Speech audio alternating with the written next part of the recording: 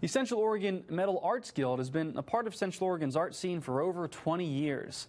Today brought the start of the 8th annual COMAG Art Show at the Oxford Hotel Ballroom in downtown Bend. Lovers of innovative metalwork can check out the latest from two dozen local artists through the weekend. They're showing off creations ranging from jewelry to sculptures and forged steel. Many are turning out to support and admire the artwork. Ever since high school, in art class and metal shop especially, I always enjoyed working with metal, welding, and stuff like that. So it's just, but lately I've been a contractor and building Amazons, but I just retired. And now this is a, a hope. I'm a jeweler. I started 55 years ago in Big Sur.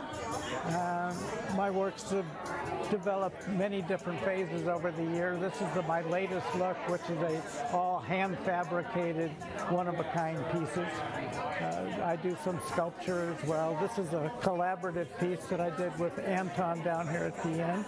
We made that together. Well, each piece takes several days because I'm doing different layers, and um, depending on the pieces, like the sculptures take probably a couple weeks because I'm going to cut it out of steel. I'll show you, I'll cut it out of steel and then sand it and grind it and then coat it with glass on both sides and fire that in a kiln.